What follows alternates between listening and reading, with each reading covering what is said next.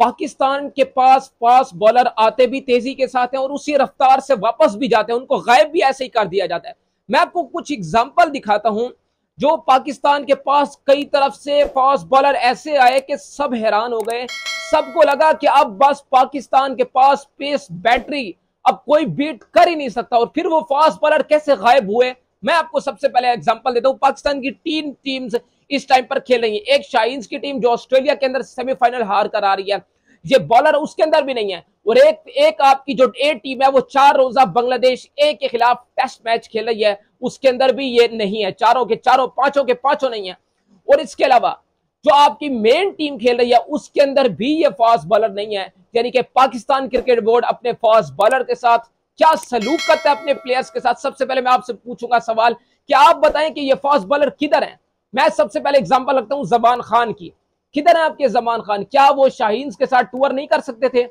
کیا جو محمد حارث کی کپتانی میں پاکستان کی شاہینز کی ٹیم جو آسٹریلیا کے اندر موجود ہے، کیا وہ اس کے ساتھ بھی ٹریول نہیں کر سکتے تھے؟ کیا وہ اس کا بھی پارٹ نہیں ہو سکتے تھے؟ آپ نے ان کو دودھ میں سے مکھی کی طرح ایسے آپ نے غائب کیا کئی ٹائم پر تو آپ کو یہ لگتا تھا کہ آپ کے پاس زبان خان تو کیا کمال ڈیتھ آپ کو بولر ملا ہے۔ پھر آپ نے اس کو ایسے غائب کیا، زبان خان کدھر ہیں آپ؟ کہیں پر کسی کو بھی کچھ بھی نہیں پتا کہ زمان خان کہاں ہے نہ آپ کی شاہدز کی ٹیم کے ساتھ ان کو رکھا گیا، نہ آپ کی بنگلہ جو بنگلہ دیش اے کے خلاف پاکستان کی اے ٹیم اسلام آباد کے اندر چار روزہ دو ٹیسٹ میچز کھیل رہی ہے، اس کے اندر بھی زمان خان نہیں ہے۔ دوسرا، محمد حسنین۔ دو ہزار انیس بیس کے اندر انہوں نے کیا کوہرام مچایا ہوا تھا اور ایسا لگا کہ پاکستان کو ڈیڑھ سو پلس بولر ملا ہے شعیب اختر کے بعد جو consistent one fifty plus bowling کرتا ہے دو ہزار انیس کے ورلڈ کپ کے اندر ان کا جو جس طریقے سے چیزیں چلی تھیں کہ جناب محمد حسنین کو لازمی پاکستان کی گیارہ میں ہونا چاہیے تھا۔ آج وہ بالر آپ کی نہ اے ٹیم کے ساتھ ہے، نہ آپ کی وہ شائنز کی ٹیم کے ساتھ ہے، نہ آپ کی وہ کسی ٹیم کے ساتھ بھی نہیں ہے، نہ آپ کے وہ پلین کا حصہ ہے۔ ایک سیزن، دو سیزن اس لڑکے کے برے جائیں، لوگ دودھ میں سے مکھی کی طرح اس بالر کو غائب کر دیتے ہیں۔ یہ پاکستان کی کرکٹ بورڈ کا حال ہے۔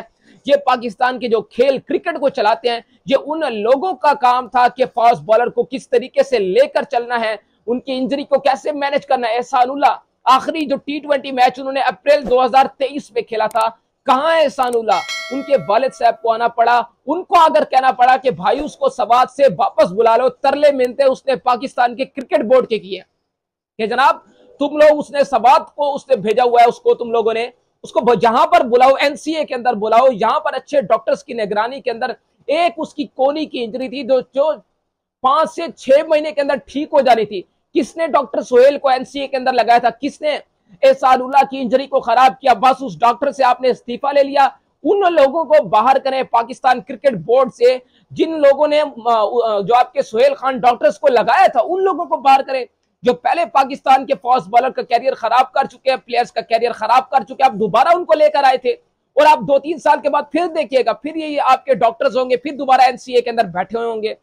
لیکن آپ کے فاسٹ بالر کے یہ کیریئر کھاتے آ رہے ہیں۔ ڈیڑھ سال ہو گیا احسان اللہ کی انجری ریکور ہونے کا نام تک نہیں لیتی ہے۔ اس کے علاوہ موسا خان دو ہزار انیس بیس کے اندر انہوں نے ٹیسٹ کے اندر کیا کوہرام مچایا تھا؟ اتنے ان کو چانسز مل رہے تھے۔ اس کے بعد یہ ایسے غائب ہوئے، ان کے فٹنس کے مسائل ہوئے، ان کے پتہ نہیں کیا کیا مسائل ان کے ساتھ درپیش آئے۔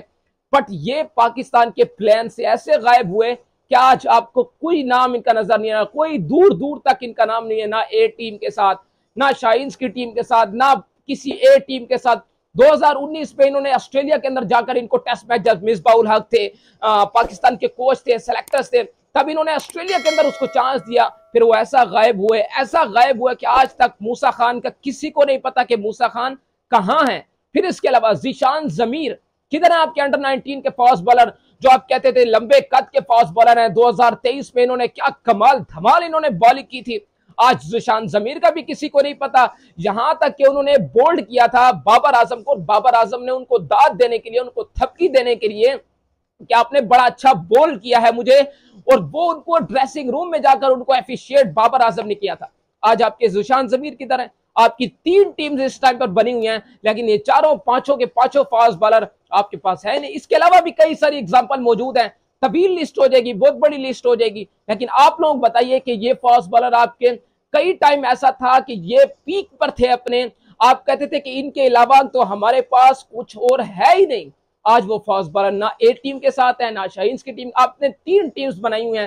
تینوں کے ساتھ نہ زمان خان ہے، نہ موسا خان ہے، نہ زیشان زمیر ہے، نہ محمد حسنین ہے۔ اور احسان اللہ کا تو کیس سب کے سامنے ہے۔ اب آپ مجھے بتائیں کہ پاکستان کرکٹ بورڈ اپنے پلیئرز کے ساتھ کیا سلوک کرتا ہے، کس طریقے سے برتاؤ رکھتا ہے کہ میں فیصلہ آپ پہ چھوڑتا ہوں تو خیر اپڈیٹس اچھی لگی ہو تو ویڈیو کو لائک اور چینل کو سبسکرائب لازمی بھی کرتے جائیے گا۔